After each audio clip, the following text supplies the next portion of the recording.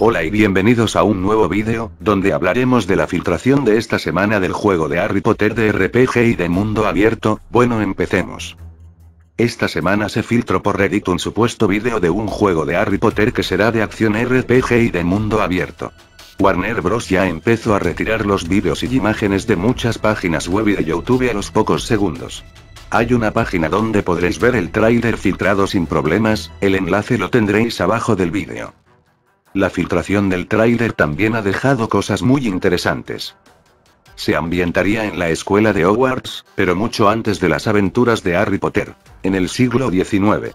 De esta manera, podríamos crear a nuestro estudiante y descubrir nuevos eventos en un RPG de acción en tercera persona y mundo abierto.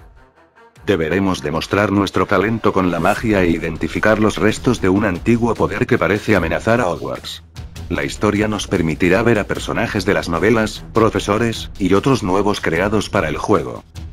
A lo largo de la aventura aprenderemos a crear pociones, dominar nuevos conjuros y conoceremos bestias fantásticas.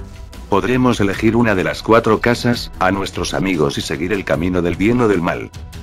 Controlamos a un estudiante de quinto curso de Hogwarts para dominar la magia y la hechicería.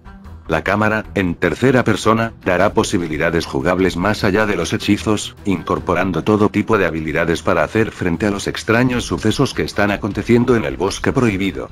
El protagonista será un tipo con mucho talento, por lo que dependerá de nosotros restablecer la normalidad del castillo. Estaremos acompañados del profesor Elezar Fig en un viaje con territorios conocidos por los fans de Harry Potter y otros nuevos diseñados para la ocasión. Finalmente, habría también lugar para la elaboración de materiales, desde pociones a nuevos hechizos, y luchas contra magos oscuros y otros seres sobrenaturales. Un periodista de la BBC News también ha dado nuevos detalles ya que tiene contactos en Warner Bros. Al juego todavía le queda al menos un año hasta su lanzamiento.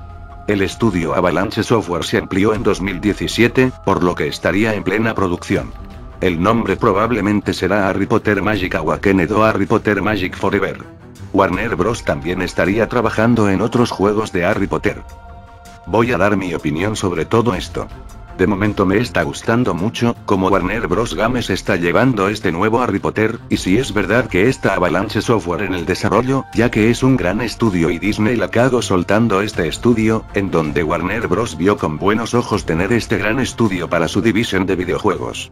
Otro dato importante es que Warner Bros. tendrá pensado como la saga de Batman Arkham, hacer un gran videojuego del universo Harry Potter. El juego no lo veremos casi seguro hasta 2020 o finales de 2019.